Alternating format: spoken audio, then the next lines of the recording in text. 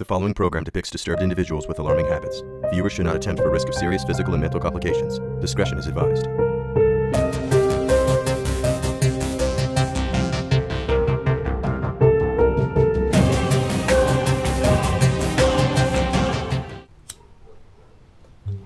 This baby thing is like, I never knew I'd be into it. Like, I never saw myself as like maternal or anything. Alright, for the airplane? Kids like, they don't really talk. Mm, coming in for a landing. They can't like tell you like what they need and stuff. Something about a, an adult baby is like way better than a kid, you know? Hi, my name's Sheila. I'm from Orange County, California. I'm 28 years old and I'm addicted to being an adult baby. Sara? She's the love of my life, bro.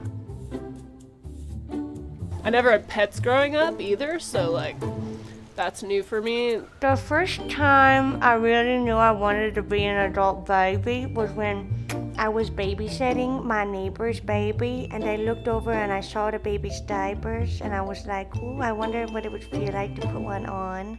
And I did and I really liked it.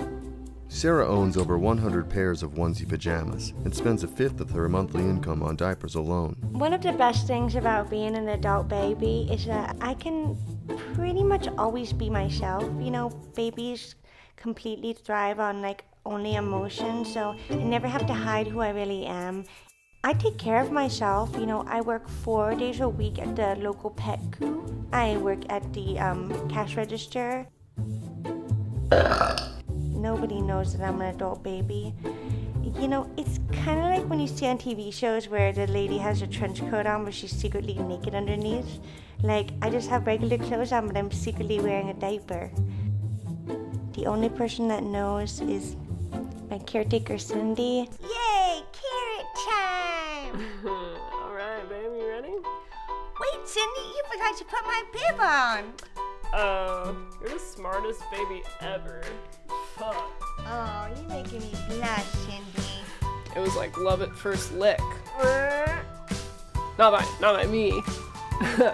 but like my French bulldog, Samson, that I took with me to the Petco that day, walked right up to her and licked her on the ankle, and he doesn't do that to anyone.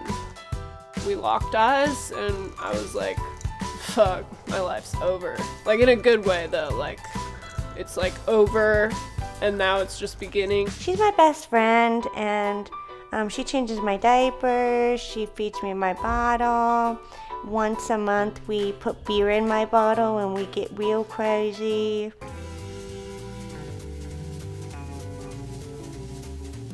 This is not a kinky thing. Like, I'm strictly the caretaker.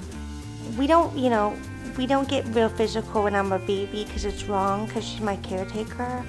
But when I'm not an adult baby, we we're in love, you know. Whenever she decides that she wants to be a baby, like, I never initiate. So, like, it's really cool for me because, like, conversely, like, in the bedroom, like, I'm the dominant of the two of us. Let me hold this. Okay, hold my hand. Yeah, it's kind of a interesting dynamic there.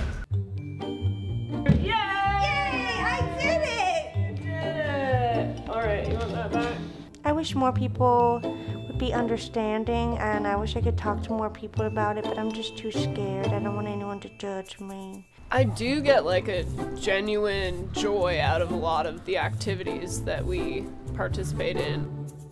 Sometimes she'll like get on her little like uh, tiny person um, uh, little mobile, I don't know, like little tech truck and like goes down the hill and like I push her and like we almost fall down and it's this whole like game of risk where I'm like in charge of her life but if you know if she topples over then like I also get to play nurse. Yeah, I just have like a like a thing for that. Earlier this month, Cyndi rushed Sara to the hospital after she split her chin open while riding her little tyke truck down a staircase. So I'm pretty happy. Yeah. I just love being a baby. I love that I get to pee in my diaper and I love that I get to suck my thumb and if I'm sleepy I just get to take a nap.